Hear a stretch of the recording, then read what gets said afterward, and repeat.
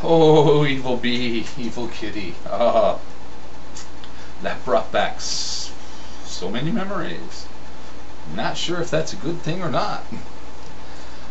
Your jerking motions when the hairball was coming up reminded me of one of the cats we used to have. We used to have a zoo off and on. One of the cats, Muffins, I never named him. I don't know why he was named that, but he was.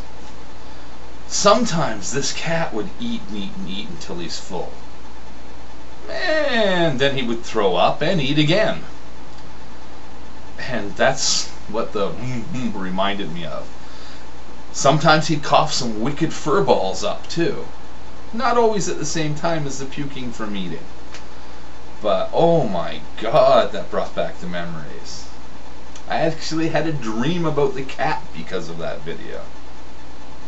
You touched me, man. You really touched me. Ah, I gotta say, Evil Kitty is very interesting. Just make sure you have a good supply of food for him, or Evil Kitty may come for you.